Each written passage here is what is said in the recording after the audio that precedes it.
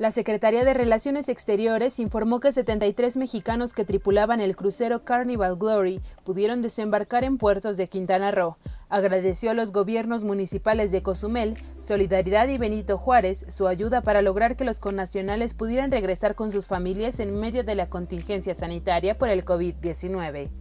Asimismo, reportó que 48 mexicanos que permanecían en Panamá pudieron regresar al país en un vuelo charter de Copa Airlines, por lo cual el gobierno mexicano agradeció las gestiones que el país caribeño hizo para la repatriación de estas personas.